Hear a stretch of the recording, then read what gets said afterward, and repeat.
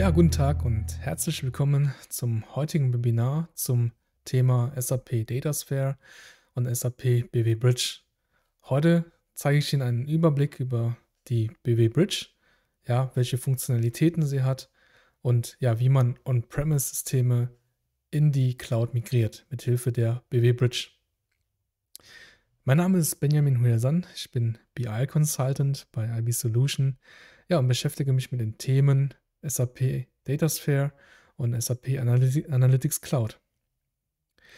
Im heutigen Webinar ja, werde ich Ihnen zeigen erstmal, was die Datasphere ist und beziehungsweise was die BW Bridge ist, ja, welche Möglichkeiten der Migration man hat, um beispielsweise von einem On-Premise-System in die Cloud zu migrieren. Da gibt es verschiedene Wege. Dann gucken wir uns dann an, wie die Systemvorbereitung aussehen muss, also wie muss ich mein System vorbereiten, damit eine Migration gelingt. Und die Objekte, ja, ich zeige Ihnen, wie man Objekte von einem On-Premise BW-System ja, in die Bridge bewegt. Ja, und anhand eines Demos werde ich Ihnen dann noch demonstrieren, wie das Ganze dann an einem System aussieht, am Beispiel einer Shell-Migration. Ja, die ähm, SAP Data Warehouse Cloud, die heißt ja jetzt SAP Data Sphere. Das ist sozusagen die nächste Generation der Data Warehouse Cloud. Und die Datasphere ist sozusagen ein ja, Cloud-Datenservice und ja, bietet die Möglichkeit der Datenmodellierung, aber auch die Multisource-Konnektivität und die ja unter anderem auch Datenvirtualisierung. Ja, Datenvirtualisierungsmöglichkeiten. Alle Funktionen von der SAP Data Warehouse Cloud wurden beibehalten. Ja, Ziel ist es in diesem Fall, die Dateninfrastruktur zu vereinheitlichen und die Datenverarbeitung zu vereinfachen. Und dabei folgt SAP das Prinzip des Data Fabrics. In diesem Fall ja, soll eine harmonisierte Sicht auf die gesamte Datenlandschaft ja, ermöglicht werden, sei es für SAP oder Nicht-SAP-Systeme. Und dabei fokussiert man die Punkte Datenintegration, ja, Katalogisieren, semantisches Modellieren, Data Warehousing natürlich und Datenvirtualisierung. Die BW Bridge ist der Weg in die Cloud für ja, bestehende On-Premise BW-Systeme. Ja, sie ist sozusagen eine Funktionserweiterung der Datasphere mit BW-Funktionalität. Ja, Sie können Datenmodelle oder Datenflüsse mit BW-Objekten aufbauen und das innerhalb der Datasphere. Sie bietet Unternehmen somit die Möglichkeit von einem Business Warehouse, das noch auf 7.x äh, oder BW for HANA, bieten somit Zugang zur Public Cloud. Und ja, beispielsweise können bestehende Datenmodelle in einem On-Premise-System mit Hilfe der BW Bridge in die Datasphere migriert werden. Ja, Daten, Datenmodelle können somit wiederverwendet werden, Datenstrukturen, Transformationen oder Anpassungen, Customizing, die können so in die Datasphere übernommen werden. Ja, mit Hilfe der BW Bridge. Und die BW Bridge dient sozusagen, wie der Name schon sagt, als Brücke zwischen Datasphere und der On-Premise-Welt. 70 bis 80 Prozent der bestehenden SAP BW und SAP BW for HANA Artefakte können in SAP Datasphere transferiert werden, ja, laut SAP. Ja, wie sieht äh, so eine Landschaft aus? Das ist hier mal eine Architektur von der Datasphere mit BW Bridge. Wir haben hier unsere ja, Datasphere und in, die, in dieser Datasphere haben wir unsere Datasphere Core, wo wir hier unsere Modellierungsumgebung haben, ja, wo wir aus Remote-Tabellen dann Views aufsetzen können und das Ganze dann sozusagen im Reporting Layer, also in der Analytics Cloud, auswerten können. Wir haben aber parallel dazu noch unsere SAP BW Bridge. Ja, und in dieser Bridge, da haben wir die Möglichkeit, ja, mit den BW-Objekten zu modellieren. Ja, hier ein, ähm, beispielsweise einen BW-Datenfluss zu erstellen und das Ganze dann in eine Space in der Datasphere zu transferieren. Darauf dann gegebenenfalls ein Datenmodell aufzusetzen und das Ganze dann in der Analytics Cloud dann auszuwerten. Ja, Sie sehen, die Bridge ist somit Bestandteil der Datasphere und erweitert die Datasphere mit ja, BW-Funktionalitäten. Welche Unterschiede gibt es zwischen BW Bridge und dem On-Premise BW-System?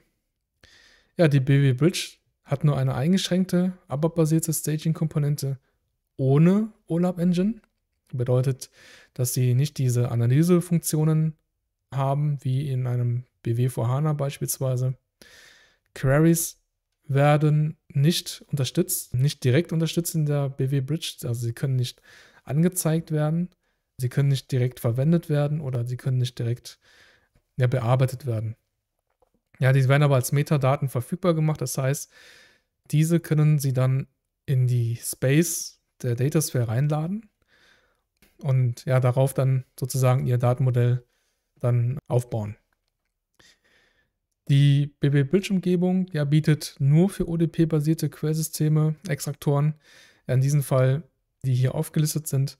Und dann haben wir hier die SAP GUI existiert nicht in der BB Bridge. Das heißt, die Modellierung findet in diesem Fall in Eclipse statt und für weitere Verwaltungen oder administrative Tätigkeiten müssen Sie dann Ihre webbasierten oder das webbasierte Cockpit nehmen, ähnlich wie es bei BW for HANA ist. Da gibt es ja auch diesen BW Cockpit Browser für die Verwaltung und Prozessverwaltung. Und dasselbe haben wir hier mit der BW Bridge. Sie benötigen Eclipse oder HANA Studio aber auch ein BW Modeling Tool mit Cloud Projekt Support. Das heißt, wenn Sie eine ältere Version haben, müssen Sie das Ganze dann updaten auf eine Version, die diese Projekte unterstützt. Und des Weiteren benötigen Sie einen Webbrowser, was ja die meisten Geräte heutzutage haben. Die müssen aber Chrome-basiert sein. Das heißt, entweder Sie verwenden Microsoft äh, Google Chrome oder Microsoft Edge. Ja, wie sieht denn der Weg in die Cloud aus? Ja, also ich habe jetzt hier eine Zwei-Systeme-Landschaft. Unter einem haben wir hier die Datasphere, das ist unsere Cloud, und hier haben wir unser On-Premise SAP BW ähm, 7.3 oder höher. Und zunächst einmal müssen die Datenmodelle von der On-Premise-Version in die BW Bridge transferiert werden oder migriert werden. Ja, und ähm, wir sehen hier, dass wir BW7-Objekte, 7x-Objekte, dass diese gegebenenfalls dann konvertiert werden müssen in BW4-Objekte. Ich habe später nochmal eine Tabelle, wo dann nochmal exemplarisch dargestellt wird, welche Objekte umgewandelt werden. In der Regel werden dann die, diese Objekte dann umgewandelt in BW4-Objekte. Beispielsweise kann ich jetzt schon mal sagen, ein Multiprovider wird dann in Composite Provider konvertiert. Sie sehen aber auch, dass jetzt hier dieser hellblaue Kasten hier in der BW Bridge verschwindet. Also BW 3.5 Objekte werden nicht mehr unterstützt. Sie müssen diese Objekte vorher in ein BW 7.x Objekt umwandeln und erst dann können Sie diese Objekte dann weiterverwerten bzw. ja, transferieren. Dann, wenn die Objekte migriert sind, können Sie das Ganze dann in die BW Bridge transferieren. Ja, Queries werden dann entweder als Datenmodell, entweder in einem analytischen oder in einem Business-Kontext dann ähm, importiert. Und Datastore-Objekte werden dann als Remote-Tabellen importiert. Seit dem neuesten Updates werden aber auch Datastore-Objekte oder Composite-Provider werden dann auch als Datenmodelle importiert. Das heißt, daraus wird dann direkt eine View erstellt mit den gesamten Abhängigkeiten ja, äh, kommen wir zu der Konvertierung. Welche Ansätze der Konvertierung gibt es? Ja, unter einem gibt es hier diesen Greenfield-Ansatz, wo Sie halt komplett neu starten in der Cloud. Ja, entweder Sie bauen sich Ihren Datenmodell direkt in der Datasphere auf. Ja, es ist halt für Nicht-BW-Nutzer interessant oder für relativ wild gewachsene, ja, wild gewachsene ähm, BW-Systeme, wo man denkt, okay, man möchte jetzt mal einen Neuanfang machen, nochmal alles sauber aufbauen dann bietet sich in diesem Fall einen Greenfield-Ansatz. Sie haben die Möglichkeit einer auf einer Shell-Conversion, bedeutet, dass nur die Metadaten mitgenommen werden, also die Definition der Datenmodelle, aber keine Daten. Die Daten werden nicht mitgenommen, sie nehmen nur die Definition mit, beispielsweise sie, sie haben ein ADSO und dieses ADSO nehmen sie jetzt über die Shell-Conversion mit in die BW Bridge Dann haben Sie nur das ADSO drin, ohne die da drin gespeicherten Daten. Dann gibt es die Remote Conversion. Und bei der Remote Conversion werden die Objektdefinition, also die Metadaten, also das Datenmodell plus Daten mit rübergenommen. Ja, so im Gegensatz zum Shell Conversion, wo man ja nur die Hülle mitnimmt, nimmt man hier auch noch den Inhalt mit. Sie sind ja nicht beschränkt auf nur einem Ansatz, Sie können das Ganze auch frei kombinieren.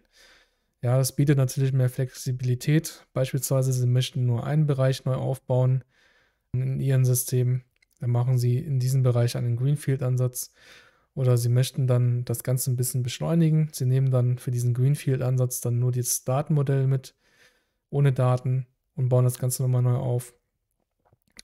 Dann können die das, diesen Greenfield-Ansatz ein bisschen beschleunigen. Oder sie nehmen die Daten mit, ja, für einen bestimmten Bereich, wo sie denken, die brauchen die Daten da. Dann machen die das alles in Kombinationen. Ist es nicht nur auf eine Art äh, beschränkt, sondern hängt natürlich davon ab, wie ihre Anforderungen sind. Und somit können sie dann ja schrittweise ihr System dann in die Cloud verlagern. Ja, ähm, bei der Konvertierung werden ja, wie gesagt, Objekte umgewandelt. Ja, hier mal eine kleine Liste. Beispielsweise wird ein Datastore-Objekt, so ein klassisches, in ein Datastore-Objekt Advanced umgewandelt während der Konvertierung. Das passiert automatisch. Ein InfoCube, Multiprovider, ähm, Infoset, diese beiden werden jetzt als Composite-Provider, werden in einen Composite-Provider konvertiert. Und das passiert auch während des Transfers automatisch. Ja, dafür gibt es das Transfer-Tool von SAP, das zeige ich Ihnen gleich in der Demo, äh, womit äh, Sie dann das Ganze dann äh, rüber transferieren können und das konvertiert dann die Objekttypen automatisch für Sie. Gehen wir weiter zum Systemstatus. Die Vorbereitungen, die Sie dann treffen müssen. Zunächst einmal müssen Sie überprüfen im Sendersystem, also in Ihrem On-Premise-System, ob alle SAP-Nodes installiert sind, die für die Migration ähm, wichtig sind. Und dafür gibt es den Node Analyzer. Ja, den können Sie über SA38 aufrufen.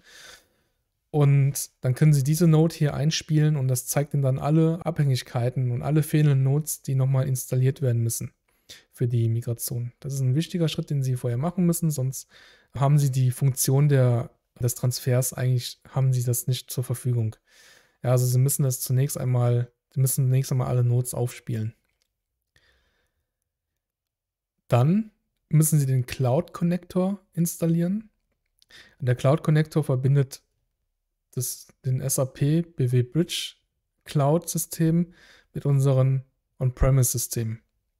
Ja, das Ganze passiert dann über eine RFC-Verbindung und einem Communication User. Ja, also Sie müssen in der Bridge einen Communication User einrichten, der dann sozusagen äh, für den Transfer eingesetzt wird. Für die Verbindung zunächst einmal, aber auch für den Transfer ähm, wichtig ist. Ja, also der Transfer läuft nicht über Ihren User ab, sondern über diesen Communication Dann müssen Sie eine Bereitschaftsprüfung machen. Sie müssen erstmal gucken, ob Ihre Objekte in Ihren On-Premise-Systemen überhaupt kompatibel sind mit der Bridge. Ja, und äh, die, die jetzt, Objekte, die nicht verfügbar sind in der Bridge, die werden meistens automatisch konvertiert, konvertiert, was ich ja vorhin in der Tabelle gezeigt habe. Aber manche Objekte müssen auch gegebenenfalls gelöscht oder manuell angepasst werden. Da gibt es hier auch ebenfalls ein Programm, das Sie ausführen können, ja, im SA38. Und das sieht dann folgendermaßen aus. Sie haben hier in diesem Fall Ihre Info-Area, das sind die Befunde vom Pre-Check. Wenn Sie das einmal durchlaufen lassen und dann sammelt Ihnen dann die ganzen Info-Areas mit den Objekten, die problematisch sind oder wo man nochmal ein Auge drauf werfen muss. Und wenn Ihr Info-Area nicht hier dabei ist, dann heißt es, dass alle Objekte da drin kompatibel sind und dass Sie dann einfach transferieren können ohne Probleme. Wenn Sie, wenn Ihre Info-Area hier auftaucht, dann müssen Sie gucken, welche Objekte hier links ja sozusagen problematisch sind oder Änderungen benötigen. Und dann können Sie hier draufklicken bei der Prüfmeldung und dann werden Sie zu der jeweiligen SAP-Node weitergeleitet wo drin steht, was sie dann machen müssen. Ja, das waren äh, soweit die Vorbereitungen. Jetzt wollen wir mal gucken, wie wir das Ganze dann auch rüberbringen. Ja, also ich habe jetzt eine Demo für Sie vorbereitet, in der es darum geht, dass wir mal zusammen eine Shell-Conversion durchführen. Also wir nehmen nur die Metadaten mit und ja, ich zeige Ihnen das Ganze jetzt mal im System bei uns, wie das Ganze funktioniert.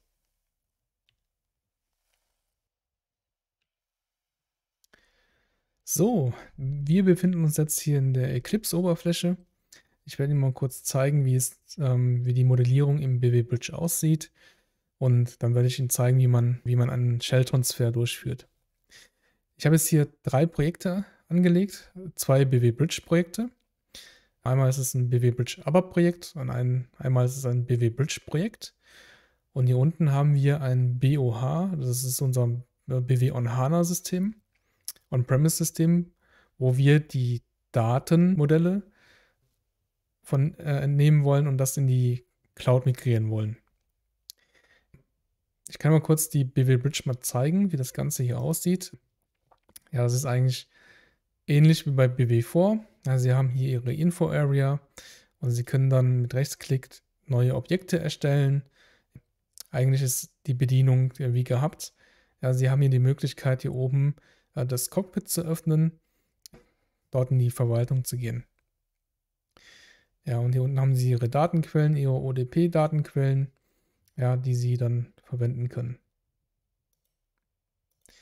Ja, ich zeige Ihnen mal das Datenmodell, das wir verwenden möchten für unserem Shell-Transfer-Beispiel. Und dafür gehen wir hier in diese Info-Area, FICO-Demo. Und was ich gemacht habe, ich habe einfach ein ADSO beladen mit der ACDoc-A-Tabelle und habe hier Transformation und DTP angelegt.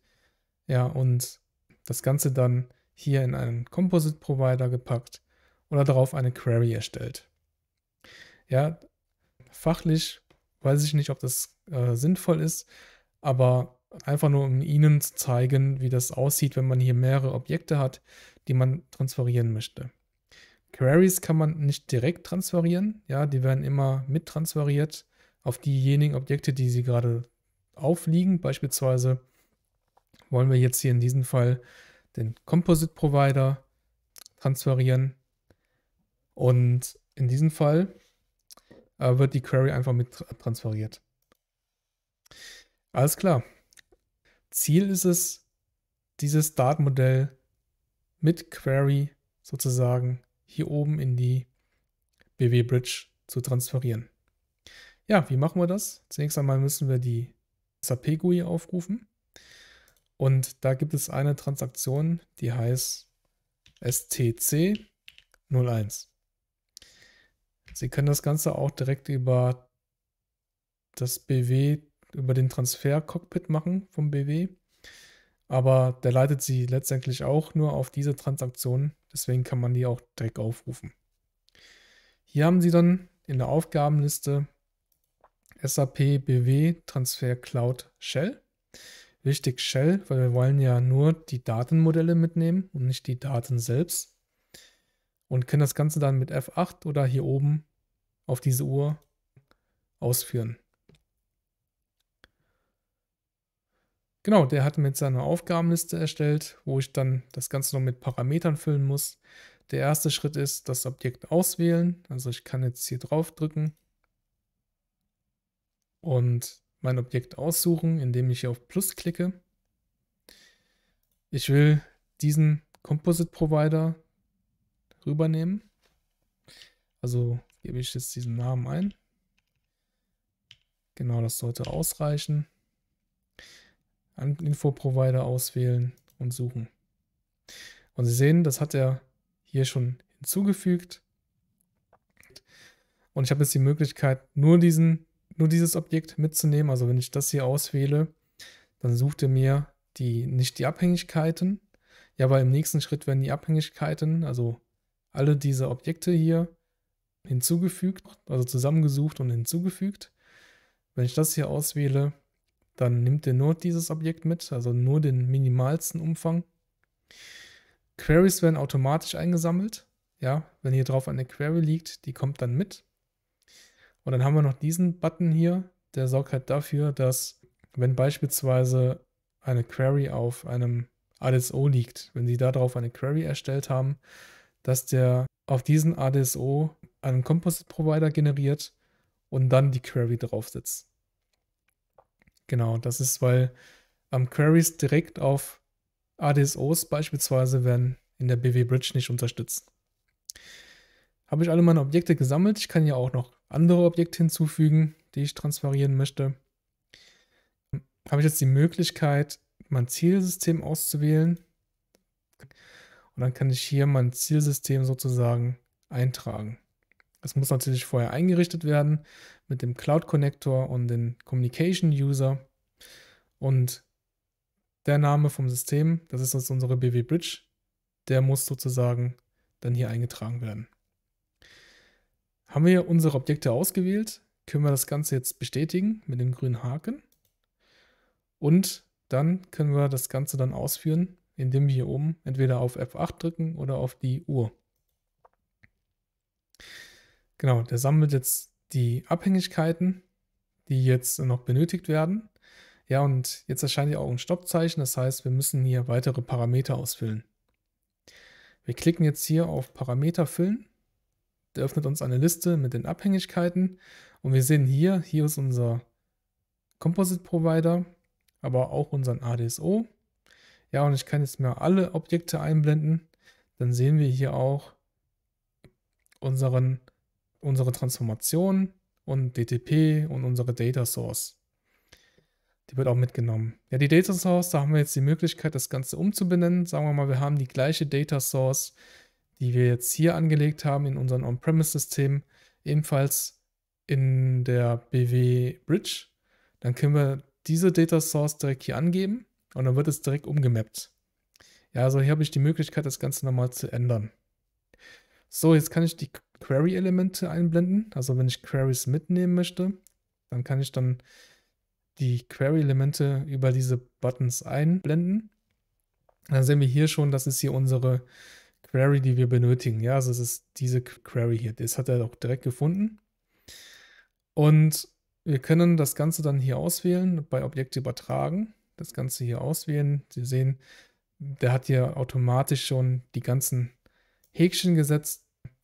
Aber der sucht sich sozusagen die Abhängigkeiten dazu heraus. Und wenn man ein Objekt auswählt, dann wählt er noch alle Abhängigkeiten automatisch mit aus. So, jetzt habe ich alle Objekte ausgewählt, äh, die mich interessieren, die, mich, die ich rüber migrieren möchte. Der nächste Schritt ist es, das Ganze auf einen Transportauftrag äh, Auftrag zu schreiben.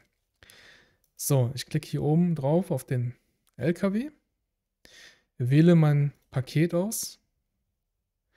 In diesem Fall nehmen wir hier ein Paket, das wir erstellt haben und weisen das Ganze dann einen Transport zu. Lokaltransport beispielsweise. Wenn Sie hier keine Aufgabe oder keinen Auftrag sehen, dann müssen Sie auf jeden Fall Ihren Communication User mal überprüfen, ob der einen Transport zugewiesen bekommen hat. Ähm, das läuft nicht über Ihren User ab, sondern über den Communication User. Den müssen Sie diesen Auftrag zuweisen. Ja, wenn Sie den keinen Auftrag zuweisen, dann sehen Sie auch keinen Auftrag. Das ist ganz wichtig in diesem Schritt. Hat es funktioniert, dann klicke ich auf Continue und kann hier mit dem grünen Haken bestätigen. So, jetzt haben wir unser Objekt und auch alle Abhängigkeiten gesammelt, das Ganze auf einen Transport geschrieben und dann können wir das Ganze nochmal ausführen. Also ich, ich klicke nochmal auf F8 oder auf die Uhr und der leitet uns jetzt weiter ja, bis, zu den, bis zu der Prüfliste. Genau.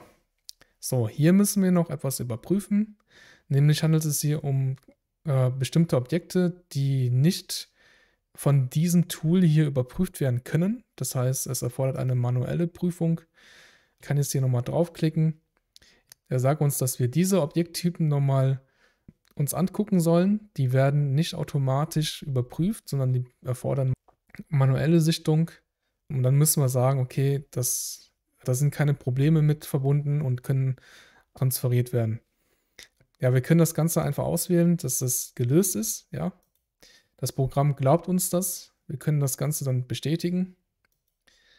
Und wir gehen zurück. Und können dann im letzten Schritt ja das ganze Datenmodell transferieren. So, ich drücke jetzt nochmal ein letztes Mal auf diese Uhr. Und er sammelt der, der sammelt der mir alle ähm, Objekte und transferiert mir das Ganze in die BW Bridge. Das ist immer ein gutes Zeichen, wenn es ein bisschen länger dauert. Das heißt, dass er auch im Hintergrund arbeitet.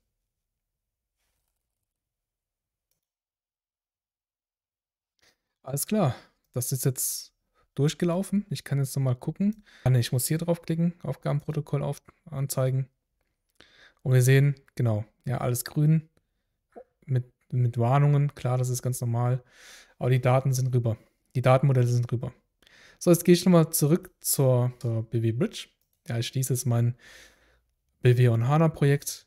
Jetzt öffne ich BW Bridge Projekt, öffne mein BW Repository und muss es nochmal aktualisieren mit F5. So, und wir sehen, hier unten ist eine neue Info-Area angekommen. Wir haben hier unsere benötigten Objekte drin. Ja, wir haben hier unseren Composite-Provider und wir haben hier unseren DSO und ebenfalls unsere Transformation und unsere DTPs. Ja, also und die Objekte wurden erfolgreich rübergeladen, hat funktioniert und wie wir sehen, sehen wir keine Query. Ja, wie gesagt, Queries werden hier in der BW Bridge nicht unterstützt und die werden nicht angezeigt, aber die sind auf jeden Fall mit rübergekommen. Alles klar. So, wie laden wir das denn jetzt das Ganze in die BW Bridge rein? Ja, dafür gehe ich hier in die BW Bridge, gehe dann zu meiner Space, in den Data Builder, öffne dann mein BW Bridge Space und hier habe ich die Möglichkeit, meine Objekte reinzuladen. Das habe ich hier schon mal gemacht. Ja, aber ich kann Ihnen nochmal vielleicht ein anderes Objekt zeigen, vielleicht das DSO. Ich habe jetzt hier die Möglichkeit, Remote-Tabellen hinzuzufügen. Ich kann jetzt hier drauf drücken, der verbindet sich mit der BW Bridge.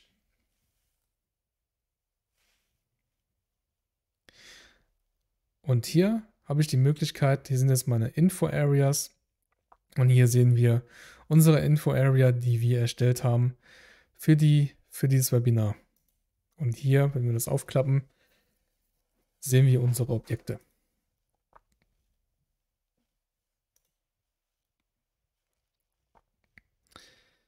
Genau, ja, ich kann immer dieses Data Store Objekt importieren, importieren. Ganze wird jetzt hier als Remote-Tabelle importiert. Ich kann das Ganze jetzt hier auf mit Import und Deploy importieren.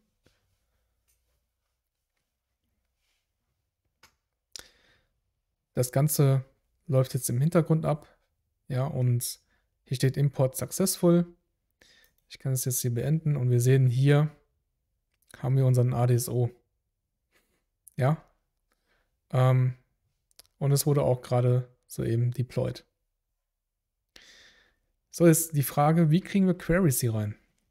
Dafür müssen wir aus der Space raus und wir gehen dafür hier in einen anderen Space und jetzt haben wir die Möglichkeit hier Entities zu importieren. Hier wählen wir BW Bridge aus als Verbindung. Ziel Space, das ist unsere Space, die wir verwenden wollen. BW Bridge Connection. Und jetzt haben wir die Möglichkeit, unsere Entitäten auszuwählen, ja, die in der BW Bridge vorliegen. Und genau, das können wir mal auswählen. Analytic Query. Ja, da haben wir jetzt nur eine Query. Das kann ja nur die eine sein, die wir importiert haben. Ja, hier haben wir hier ZQFI CO01 Query. Das können wir jetzt auswählen. Im nächsten Schritt können wir das Ganze dann ähm, nochmal reviewen. Ja, das, das heißt, es zeigt uns dann alle Abhängigkeiten an, die dann mit importiert werden sollen. Und ja, genau. Ja, Sie sehen, ähm, es generiert mir jetzt hier raus automatisch für den Business Builder ein Faktenview, aber auch ähm, ja, Dimensionen und abhängig, abhängige Zeitdimensionen, ähm, die dann, die habe ich schon bereits importiert in diesem Fall. Ja, aber wir können dann rein theoretisch auf Start Import, Import and Deploy drücken, dann, dann werden die ganzen, dann wird die Query importiert, beziehungsweise dann generiert er uns daraus die ganzen ja, Dimensionen und Views.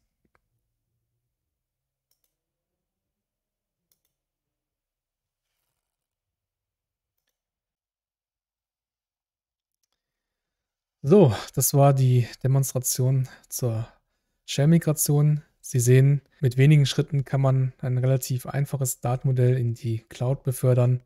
Natürlich hängt das auch vom Umfang des Datenmodells ab. Wie komplex ist das Modell? Je nachdem muss das dann angepasst werden. Aber Sie sehen, SAP bietet hier ein Tool, womit Sie den Schritt in die Cloud wagen können und ja, somit eine Möglichkeit besteht, Ihre bestehenden Datenlandschaften dann in die Cloud zu befördern. Ja, wir sind jetzt am Ende angekommen. Falls Sie Fragen haben, schreiben Sie die doch in den Chat rein. Ja, wir werden versuchen, die dann noch zu beantworten. Wenn wir es nicht mehr schaffen, werden wir nochmal im Nachgang auf die zukommen oder Sie schreiben uns einfach eine E-Mail. Das Webinar wird dann am nächsten Tag hochgeladen und ja, dann können Sie das, sich das nochmal angucken. Ja, gut, wir sind jetzt am Ende angekommen.